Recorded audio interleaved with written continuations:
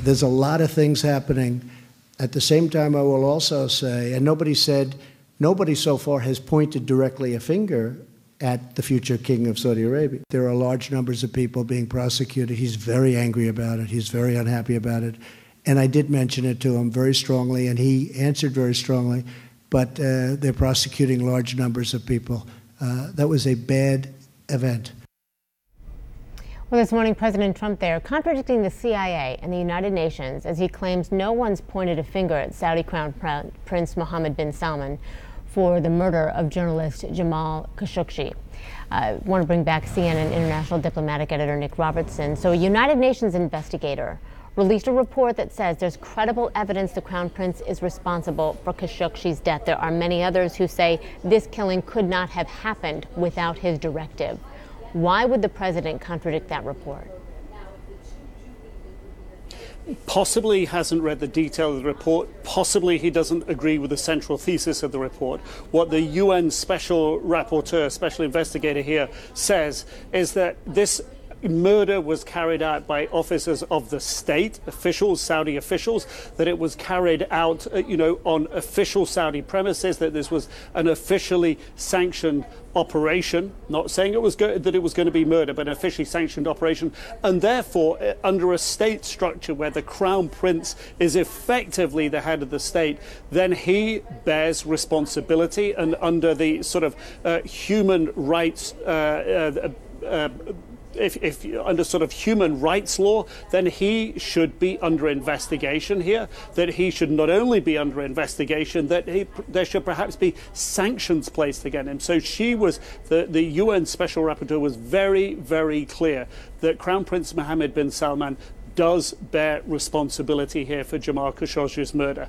Um, and President Trump doesn't seem to take that on board. Um, the Saudis have said in their defense that this was uh, an official rendition, but it was botched and went wrong, and the team on the ground went rogue and murdered Jamal Khashoggi. But the evidence put forward in this more than 100 page report, a UN report, counter is a counter narrative to that. Uh, Khashoggi's killing and dismemberment was discussed before he ever set foot in the consulate, so that raises a, a, a clear concern there. What President Trump said is that the Saudis have put 13 people on trial and maybe pulling some others in for investigation. But again, until the special rapporteur from the UN made her investigation, nobody knew the names of the people who were on trial. We now know them thanks to this thanks thanks to that report. So there's a lot of evidence out there, as well as whatever President Trump's intelligence services have provided him in their estimation that the Crown Prince did have a, level of responsibility and knowledge about this murder. So th- there's a lot there that President Trump seems to be ignoring, and the reason that he says that he wants this close relationship is because of trade, because of the many billion dollars worth of uh, business done with Saudi Arabia, and much of that uh, military hardware being sold to the kingdom. Plus, of course, um, being a supporter of President Trump's policies in the Middle East. Well, and the president did mention Turkey as well, saying he gets along well with uh, President Erdogan. But President Erdogan at the G20 a news conference has come out and said that it is a priority for the international community to get all the facts and details on the perpetrators of the murder of journalist Jamal Khashoggi. What does this do, uh, Nick, to the relationship between the U.S. and Turkey?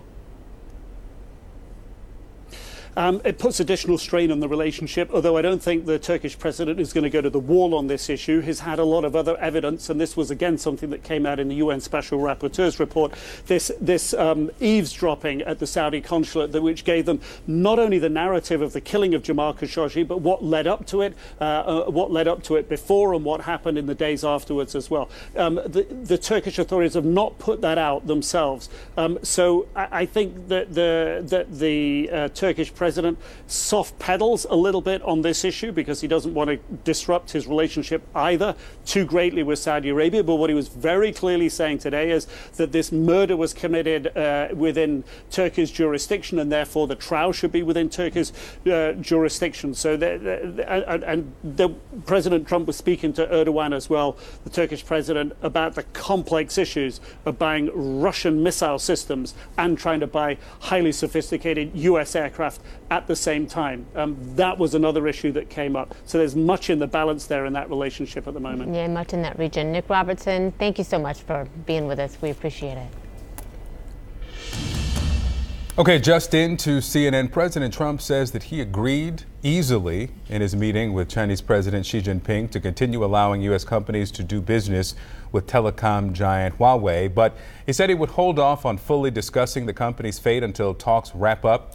Washington fears the company could use its technology for spying. Senate Minority Leader Chuck Schumer warned against fully reversing the ban on the company. Eh, here's his statement Huawei is one of the few potent levers we have to make China play fair on trade. If President Trump backs off, as it appears he is doing, it will dramatically undercut our ability to change China's unfair trade practices. Again, the president said he's going to hold off until the end of the talks to determine if Huawei can do business uh, with U.S. companies. Right now, it's on a Commerce Department entity list, uh, which means that it's banned from doing uh, business uh, in, in many respects with the U.S. because of national security concerns. We'll, of course, bring you anything from the prominent players on Huawei as the president uh, continues to move forward on these talks with China.